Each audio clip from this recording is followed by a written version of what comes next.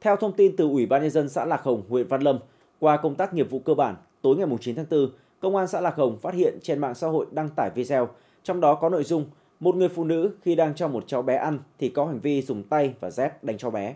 Theo thông tin đăng tải nơi xảy ra vụ việc tại một trường mầm non trên địa bàn xã Lạc Hồng.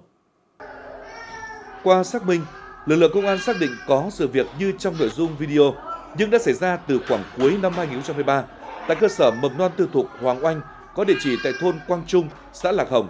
Công an xã đã trực tiếp đến cơ sở mầm non kiểm tra và mời chủ cơ sở đến trụ sở để làm việc, đồng thời xác minh và mời người phụ nữ nghi vấn trong video có hành vi đánh cháu bé lên làm việc.